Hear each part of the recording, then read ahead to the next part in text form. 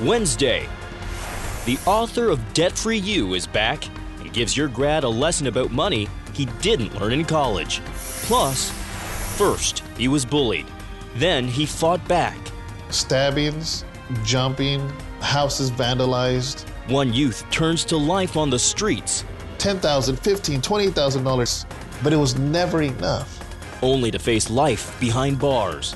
Wednesday on the 700 Club.